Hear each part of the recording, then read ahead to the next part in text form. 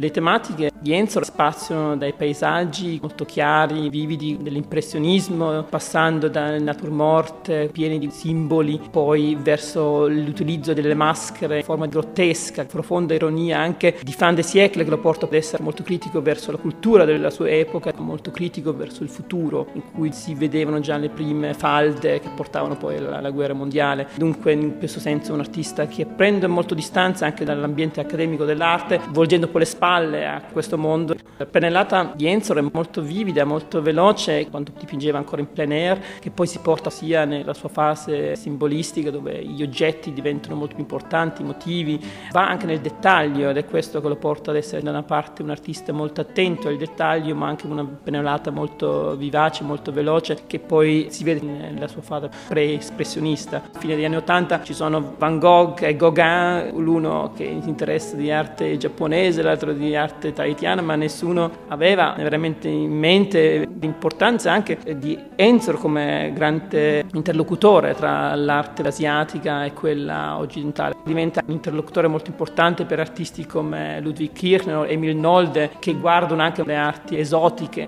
Van Gogh, che si è interessato anche all'arte giapponese, è uno dei primi che introduce queste maschere asiatiche in un contesto di pittura occidentale e dunque lo fa proprio per questo motivo un artista lungimirante.